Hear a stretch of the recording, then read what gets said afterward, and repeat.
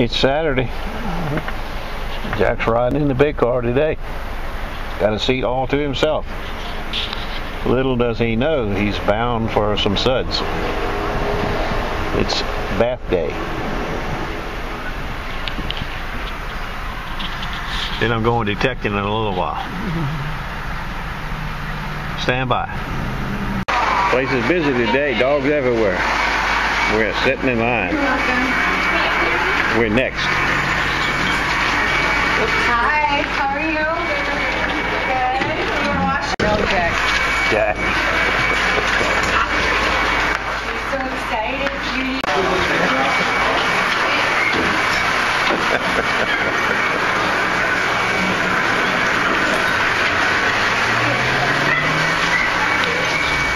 What do you think, Jack?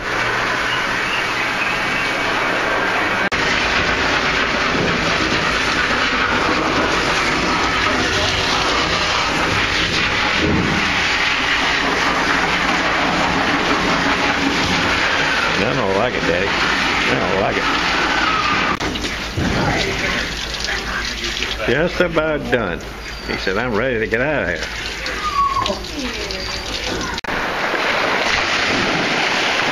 Three thirty-five. Low tide's like eight o'clock here in the bay. I won't make that. I'm going in now. See how it works out. Stand by. Now that's as good a sign as we get right here for me. I think that's the best find I found in a long time. An old buckle off a swimming 50s and 40s swimming cap. We used to find a lot of these here. It's been a little uh, slow last year so. Stand by. I, I'm in. I'm in heat. I got to hurry before night catches me. Um, I didn't get many videos today. My little uh, camera, I think she shot the crap. My my Kodak again, my third Kodak. But I got uh, I got two watches there and a couple crappy things here. One meager dime. It was slow today. But I got this. Don't know what this is, but look at it.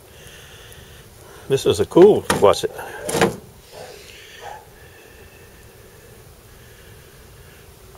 I'm gonna crack it open before dark catches us and see what's inside that ticket. You can see we got a terrible storm coming. It's supposed to be really like about 20 degrees overnight. Stand by. That's all she'll do. She gets, she looks like she's all noisy, but she won't cut off. She won't do anything. The last picture, the last video I shot with this was the uh, little brass-looking swimming cap. You'll see that, and that'll be the. After that, the next video I went to shoot, she shot all the pieces. You can see she got a bad-looking doodad right there too. Anyway, look at that. Can't cut it all, Can't do anything. Stand by for that what?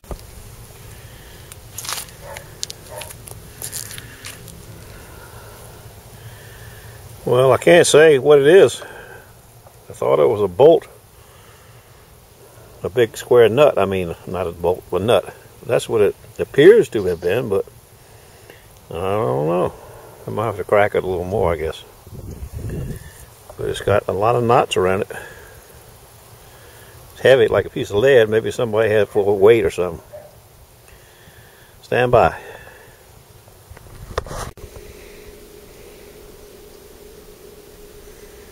Can you see the moisture in there? Doesn't look good. I did get it to cut off by hitting the, uh, it's got a reset button right down the middle of that little hole. You stick something sharp in that hole, that's a reset for it. You can see it's off now anyway. Stand by.